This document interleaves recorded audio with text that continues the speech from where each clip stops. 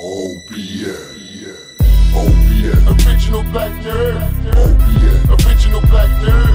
OBS. Original black nerd. Everything discussed about dramas is that third. OBS. Original black nerd.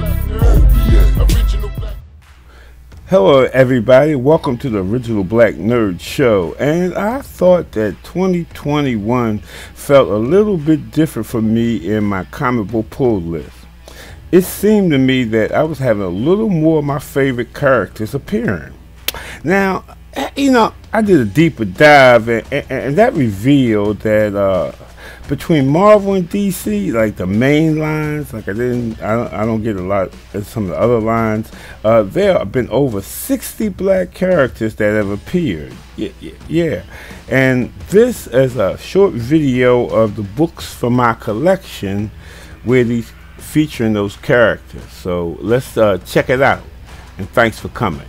Remember, like, comment, share, all that good stuff.